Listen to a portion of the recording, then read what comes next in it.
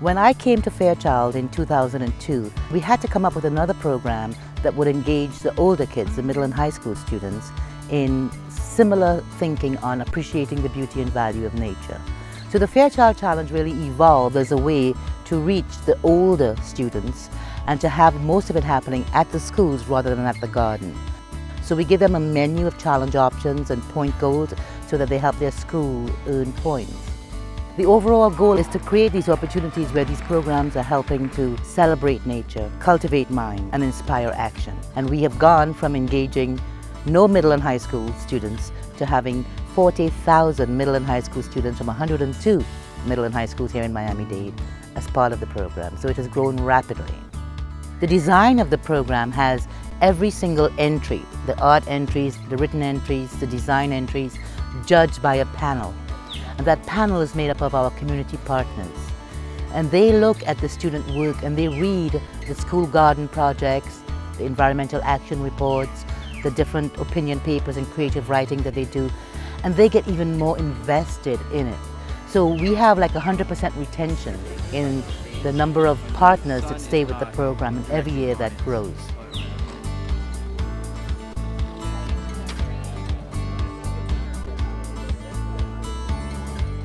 Because the program is interdisciplinary in scope, it appeals to the scholar and the slug, the writer and the performer, the scientist and the artist. And the teachers seem to embrace this sort of open-ended pedagogy that the challenge provides, opportunities for kids to, to learn, to, to get involved in their own education. So as a botanic garden, we're always looking for ways to engage thousands and thousands of people in environmental awareness, scholarship and stewardship, to be a part of nature, to appreciate its beauty and its value. So this program worked because it seemed to give students a vehicle, an outlet to stand up and be counted in their communities, in their homes, in their schools. And they want more and more of those opportunities. So chances to perform, to model fashion outfits, to write deep research papers, to do projects designing skyway bridges, create solar gadgets, to look at electric vehicles. It seems to appeal to a wide range of students. When you have these opportunities that engage students in very meaningful, hands-on, creative ways, you hope that what you're giving them are opportunities to find solutions. The gears are from a locomotive train.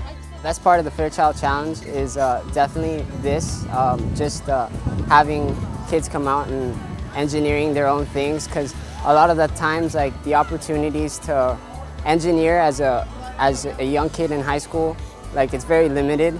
So to actually for the, the Fairchild to go out, supply you with the, the motor and the solar panel, which is expensive in, in terms, uh, is I think it's great.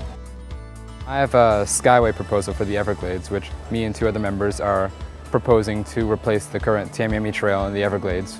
So we're trying to create an environmental solution to an important ecological problem in South Florida. This has only furthered my interest in environmental design. You know, you could view it as either a hindrance to architectural creative potential or as a challenge where you can try new things and that's what I view it as. It's really a great way to try and create new solutions, new types of architecture that haven't been seen before.